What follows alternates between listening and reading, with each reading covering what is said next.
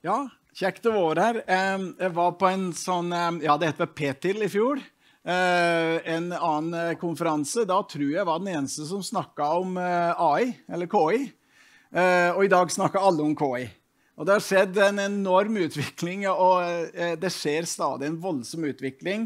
Og særlig oppmerksomheten rundt det har jo økt betraktelig. Så det jeg sier nå, det er litt sånn ja, OK, folk er her fra litt forskjellige bakgrunner, så nå begynner jeg igjen på, på start, på en måte. Eh, og eh, allerede er det jo nevnt litt definisjoner og sånne ting. Men jeg liker å undervise, så derfor så, så starter vi liksom litt, litt sånn grunnleggende, så kommer poengene og noen gode eksempler etter hvert. Ok, eh, Store norske leksikon sier at kunstig intelligens er informasjonsteknologi som justerer sin egen aktivitet, og derfor tilsynelatende framstår som intelligente. Vi har hørt at det, ja, det er to hovedgrupper der vi har hatt den der regelbaserte modeller eh, som en utgangspunkt. Men det er nå, når vi snakker om kunstig intelligens i dag, så er det jo maskinlæring og datadrevne modeller som vi snakker om. Og da er vi fram til egentlig poenget med hele det jeg tenkte skulle snakke om i dag. og det er Hvis det er sånn at det er datadrevne modeller vi, vi ønsker å, å, å, fokusere på, som virkelig gir oss noe, så trenger vi for det første gode treningsdata og folk som forstår det. Så Hvis du syns at det her med KI er så overveldende at du heller lar andre ta seg av det, så tenk heller en gang til. Fordi vi trenger folk som kan noe, ikke bare oss nerdene, hvis du kan tenke sånn. Ok, eh, Det har jo skjedd det store, det store skiftet. Det ble jo nevnt nettopp at det store skiftet det skjedde faktisk i november nå i 2022 med generativ kunstig intelligens. Ikke det at det ikke har blitt forska på ting, men det ble veldig til de grader eh, gjort tilgjengelig for, for, hele verden. Ikke sant? At vi kan generere og lage noe basert på et såkalt prompt, eller en ledetekst. Bilder um, I dag så lagde jeg da, eller til denne presentasjonen så brukte jeg da Microsoft Copilot til å lage en illustrasjon som viser mange entusiastiske mennesker samlet om temaet innovasjon. Og det ble scene akkurat sånn som vi har det her. Jeg, hadde, jeg visste ikke at uh, Havtil faktisk laga denne scenen. Så det, det, det, var veldig kjekt å se. Ja, men, men, det er jo bare et eksempel på hvordan du kan bruke uh, KI til å lage bilder. Tekst. Selvsagt ChatKPT og alle de andre språkmodellene som vi, vi har fått inn over oss. Lyd. Vi kan nå bruke et, et, program til å lage musikk. Jeg vil ha en countrylåt med, med en kvinnelig vokalist som skal synge noe om ditt og datt, og så får du en fantastisk eh, eh, låt ut av det. Eh, for meg umulig å høre om det er ekte eller falsk eller kunstig laga. Mm. Video kommer nå mer og mer. Det satses veldig på, på, på sånne ting. Men alt er jo avhengig av en større eller mindre språkmodell. Så litt grann definisjon og litt sånn på, på grunnivå nå. Språkmodell, hva er det? Ja, det er en statistisk modell som er trent for å forutsi en, en sekvens av ord. Så hvis det sier at jeg liker å holde meg i god form, derfor går jeg på fest eller treningsstudio. Hva tror du at det er mest sannsynlig? Ja, nå har ikke du sett meg danse, men det er nok mest eh, treningsstudio vi snakker om her. Da.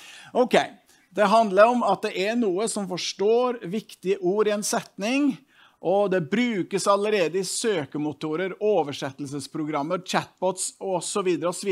Har blitt brukt lenge. Jo større modell, jo bedre, stort sett. Altså LLM eh, Vi har liksom begynt å si LLM nå eh, til, til alle enhver, og det er store, store språkmodeller der ChatGPT er et eksempel på det. Og når ChatGPT blir utvikla, blir den da trent på hva var det, 300 milliarder ord som fantes på nettet i 2021. Og, og, i tillegg så er det lagt på et lag med sånn reinforcement learning by human så det støtter massevis av folk til å sørge for at dette var bra eller ikke bra svar. Og så har vi en moderator på toppen som gjør at det her blir en veldig snille og greie svar. Jeg pleier å si det sånn at en, en språkmodell som ChatGPT det er den perfekte ektefelle. Han gir deg alltid et svar, og svaret er alltid høflig og fint.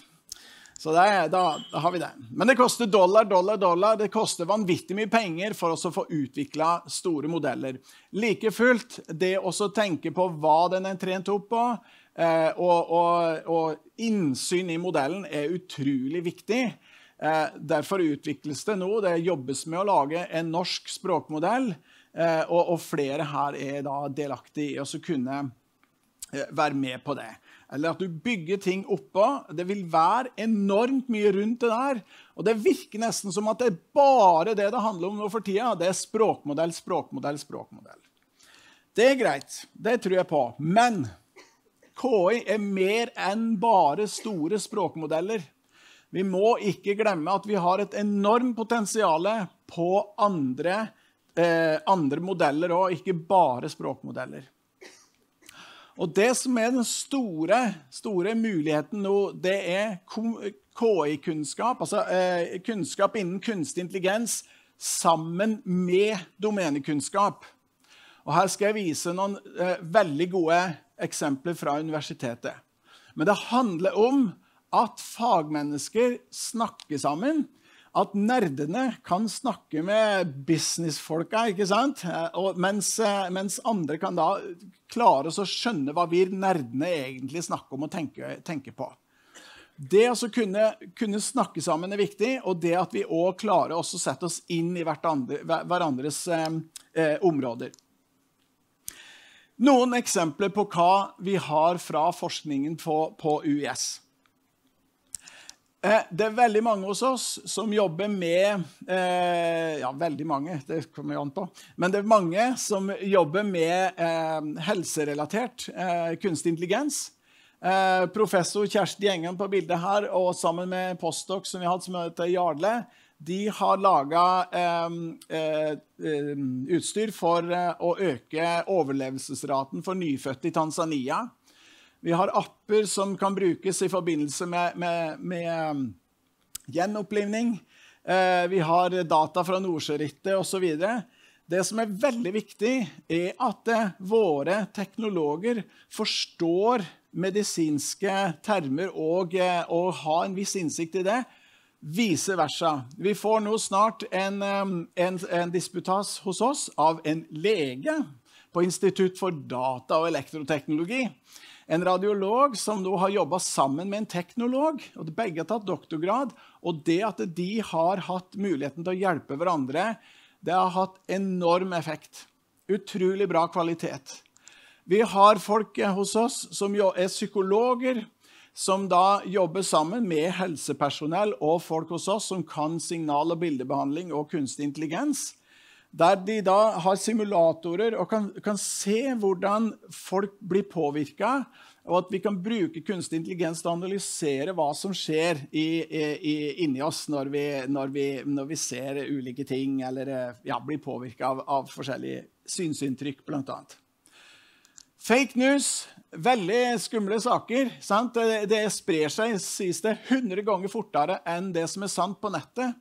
Vi har en oppstartsbedrift der vi har journalist Maria Amelie sammen med, med vår Vinay Setti, som da jobber med å avdekke hva som er falskt, og hva som er sant. Eh, eh altså en, eh, en, en AI-basert, en KI-basert detektor som er med og finner ut av det. Og det var en som var inne på det her nå i stad. Eh, ja, kan vi være helt sikre på at det er falskt og ikke? Nei, det handler om i hvor stor sannsynlighet er det at det kan være falskt og ikke. Så den, eh, den syns jeg er veldig interessant. Og så skulle jeg hatt ett lysark til her nå, som handler om eh, AI og energi. Fordi vi har hos oss mange som jobber innenfor mot energi- og petroleumssektoren. Og det at de nå jobber med KI-kunnskap sammen med folk som har eh, domenekunnskap fra petroleum, det har eh, enormt mye eh, å bety. Det har et utrolig potensial. Noen av våre eh, konkurransefortrinn eh, i Norge, det er tillit. Enn så lenge så har vi et demokrati som fungerer iallfall sånn noenlunde. Eh, og at tilliten er jo grunnlaget for demokratiet. Det at vi til en viss grad kan stole på, ganske, ganske langt egentlig kan stole på, på hverandre. Eh, vi har òg tilgang til data fordi vi har gode systemer. og DNV for eksempel, er jo da et eksempel på, på, på hva som er viktig å ha. Vi, vi kan stole på på de som legger et grunnlag for, for, som tar hensyn til personvern og, og, andre ting. Og dette er, er, noe som er trygt. Vi har en befolkning som raskt tar ny teknologi i bruk. Det er ikke bare de unge, men òg de som er litt eldre, som tar, eh, tar, teknologi i bruk, og som da kan både eh, eh, prøve og feile og ikke er så redd for det. Eh, og dermed så lærer vi underveis. Så jeg tenker at det er en del sånne, sånne faktorer som er utrolig greit å tenke på. Om ikke vi har alle de dollar, dollar, dollar som skal utvikle en ny, kjempesvær eh, språkmodell, så har vi det her, og ikke minst en kort avstand mellom fagmiljøene. Men av de tinga her så er det særlig én ting som jeg skal framheve, og det er tillit. Det er noe av det som jeg syns vi skal fortsette med å legge vekt på at vi kan stole på modellene, at vi kan stole på hverandre og, og ja, så videre. OK, utfordringene. Kan vi stole på treningsdataene? Det er allerede nevnt, det med skjevhet. Er det sånn at det, dette er, er, er, godt nok eh, modellert og trent?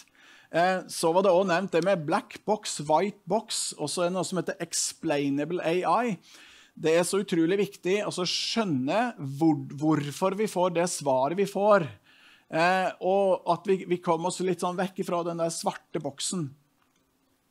Et lite eksempel på, på, på hva som skjedde en gang når, eh, når, de ikke helt visste hvorfor du fikk det du fikk. Eh, dette er henta fra en, en, eh, en, forskningsartikkel som, eh, som da viser det, det, var, det, var, en eh, modell som var trent opp til å se forskjellen på en husky og en ulv. Og hva var det som gjorde at de fikk For de så at det var en feil som kom her, blant annet.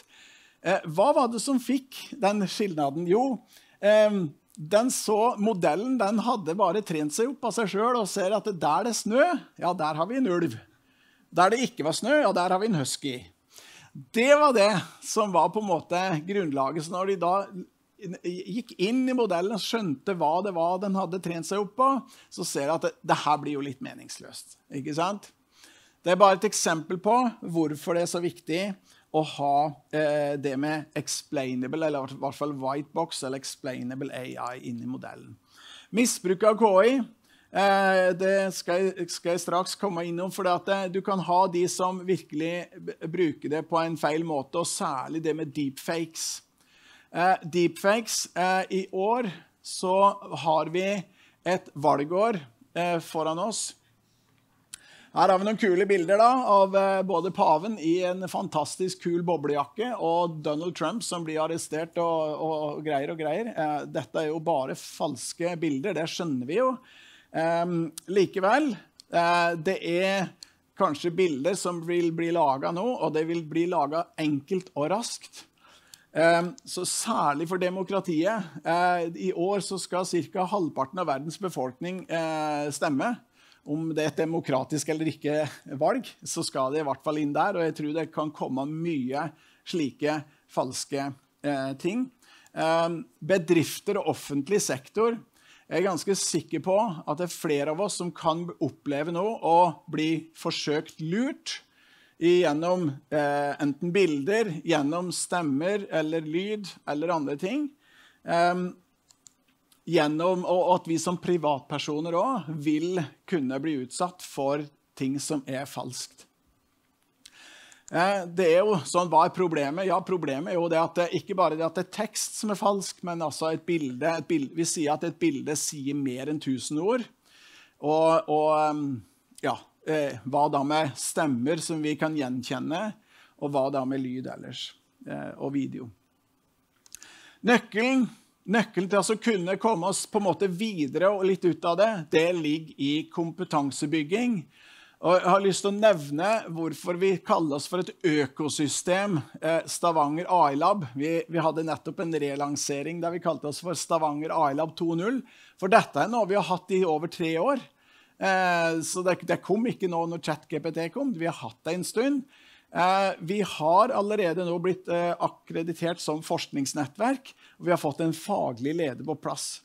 Men i tillegg til all forskningen så er det så viktig med kompetansebygging, både internt, men også eksternt. Så vi kommer nå til å tilby åpne, fleksible emner. AI for everyone, eller AI for alle. Og AI for engineers eh, ganske nå snart, altså til, til høsten. Så framover utrolig viktig å være faglig oppdatert og delta i utviklingen. Sørge for tverrfaglig forståelse. Eh, blir litt klisjéaktig, men ja, her ser du eksempler på hva det betyr. Og så er det viktig da, å ha litt naturlig intelligens sammen med den kunstige. Yes, det var det jeg hadde å si.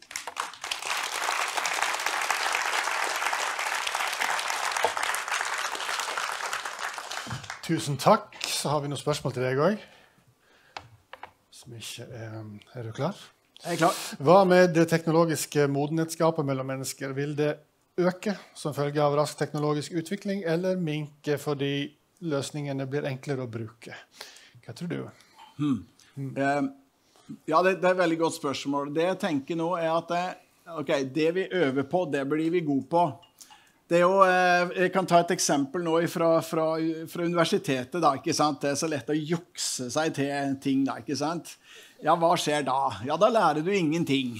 Så, så jeg tenker litt sånn, det vi, det vi, bruker hjernekraften vår på, ja, det, det, kommer vi til å bli gode på. Og om vi blir mer modne teknologisk, jeg vet ikke. Kanskje Jo, jeg, jeg vet ikke. Nei, det er lov, det. Ja. Du nevnte sang av kvinnelig vokalist. Hadde du bare sagt vokalist, ville sang, sangere nok vært av en mann. Hva tenker du rundt innebygd bias mot menn som standard? Ja, det er ikke sant er veldig, det er veldig interessant, for jeg hadde jo noe, noe tilsvarende nå. Vi, jeg spurte sånn, Lag en historie om en politibetjent og en sykepleier, og det blir automatisk han politi og hun sykepleier. Eh, ja, det er jo det som er. Altså, ting er jo i utgangspunktet nokså biased, eh, og, og, ting blir kanskje litt stereotypt. Men det er jo litt sånn vi òg er, da. Altså, den, den verdisynet jeg har nå, det utgangspunktet jeg har nå, det gjelder for meg i 2024. Hva er mitt verdisyn om ti år? Eller hva var det for ti år siden? Vi er òg litt biased. Så jeg tenker at eh, vi skal være litt selvreflektert akkurat på det området der. da. Ja. Ja. Men bias, det, det er en ganske, eller skjevhet i modellen, er veldig viktig å være bevisst på. Ja. Et til. Hvilken kompetansetilførsel bør medium større bedrifter investere innen RFKI-kompetanse sammensveiset med domenekompetanse? Ja, det er jo utvilsomt eh, eh, teknologikompetanse, da. Og, og, og, og, folk som kan eh, programmere og kode, og, matematikkompetanse. Det var kanskje litt sånn det, eh, fra min side, for jeg er jo instituttleder på data og elektro. Men jeg ser jo et voldsomt behov for den sida, altså. At du kan teknologi. Men det er ikke så dumt å kunne både litt av det ene og det andre. Men ja. Det var det. det, var det. Ja. OK, vi eh, stopper der. Det var masse andre spørsmål, så vi får huke tak i deg òg i pausen. Men tusen takk skal du ha, Tom Rien.